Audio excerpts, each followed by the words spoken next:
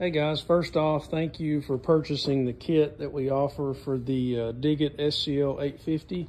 So let me go over a little bit of what that includes.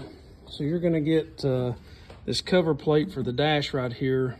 And uh, one thing you're gonna notice, you're gonna get a template and it's gonna fit in here to cut this opening wider.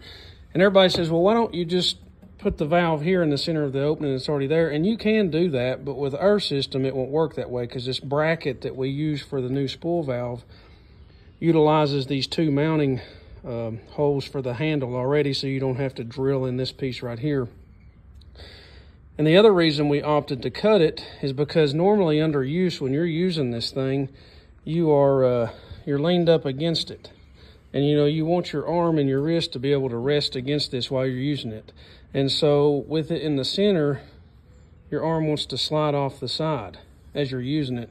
So we opted for more comfort so that you can actually rest your wrist and your arm on the handle while you're operating it back and forth. So that's the main reason why we, we went back and forth with which way to do this, but that is the main reason why that we decided and opted to cut the dash opening a little bit bigger so that we could move that spool valve and these controls just to a little more of the right, almost to where it lines up so that it gives you so much more arm room and it's more comfortable.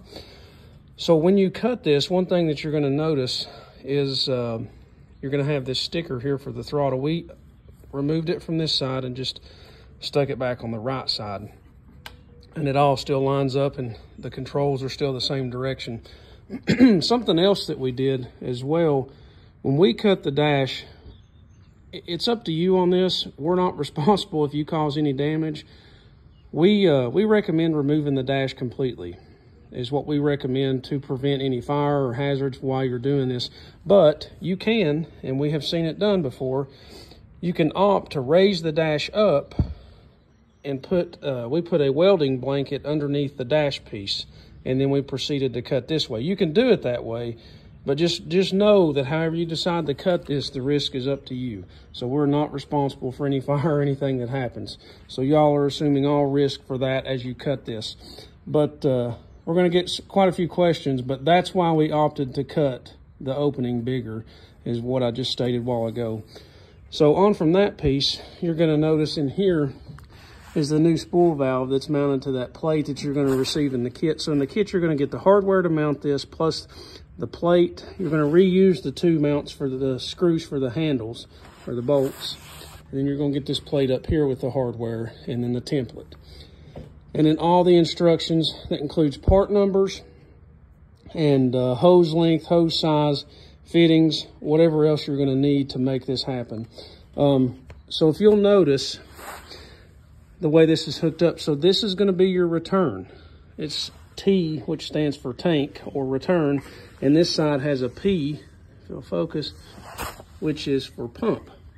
So this side for tank or return is gonna go all the way down and you're gonna return it to this block right here, which in the instructions of what we told you on the steps, you'll have one blocked off, which we opted to block the bottom one off and put our return up here on top just for easy accessibility.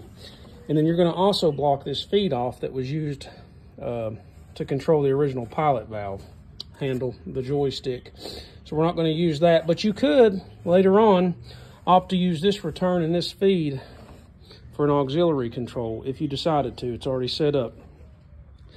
So then you're gonna take the, uh, the pump side and it's gonna go all the way down and feed off of this first section of pump here off the back of the engine. So that's gonna feed directly to the new spool valve. And then these four lines here are gonna be your wheel motor lines. And you will have already changed the fittings and the bottoms to accept these new number eight JIC uh, fittings. So this is gonna be for this side, and this side of the valve is gonna be for this side of the unit. And so the way these lines are hooked up this top line right here, you can't see because it's hard. It goes, see if this will focus. It goes to the back side of the wheel motor. If you're on the front of the unit, this front side goes down here on the bottom. So just remember, top is back, bottom is front when you're looking at the from the front of the unit. And so once you get all that set up, then you're gonna come in, you're gonna double check your hydraulic fluid, and then we was able to turn it over and kind of work our valves back and forth to kind of bleed some of the air out as it's pumping it in. Because as this pumps, it will not pump it to the wheel motors directly until you actuate these valves. So as, as we're starting, I just kind of would let some fluid flow to build some pressure back up in the wheel motors. And once it starts, you can run idle to mid-range, but you'll want to work the levers back and forth slowly so that it can uh, actually pump fluid to the wheel motor and self-bleed as it's running. And so after just a few minutes of running, you should be good to take off. And uh, you'll notice a difference right away. If you really hammer on it backwards, it can get a little jumpy, but these controls are so much smoother where they're direct drive to the, to the wheel motors. So something else that we did is we had a problem with the original uh, cooler hoses. So we went to our local hydraulic store and we got the stuff to replace these hoses. And uh, so that was another plus for us. But uh, we do appreciate you guys um, buying this kit. I know it's not much, and uh, but one thing we did try and do is we tried to make the price decent for what we could do to because we're going to offer free shipping. So for the time we've got in it, plus the uh, the materials, the metal, the powder coating, the hardware, the printouts, all that stuff we've got uh, together. We wanted to offer y'all a fair price, but we still, at the end of the day, have to justify being able to even offer this kit uh, to the ones that want it. So um, we're not in it to really make money whatsoever. I mean, we want to make a little profit, but we have to cover our cost and expenses for shipping, powder coat, metal, and all that stuff, and hardware. So, um, but yeah, I hope you guys uh, enjoy the kit. If you have any questions, please, please feel free to reach back out to me.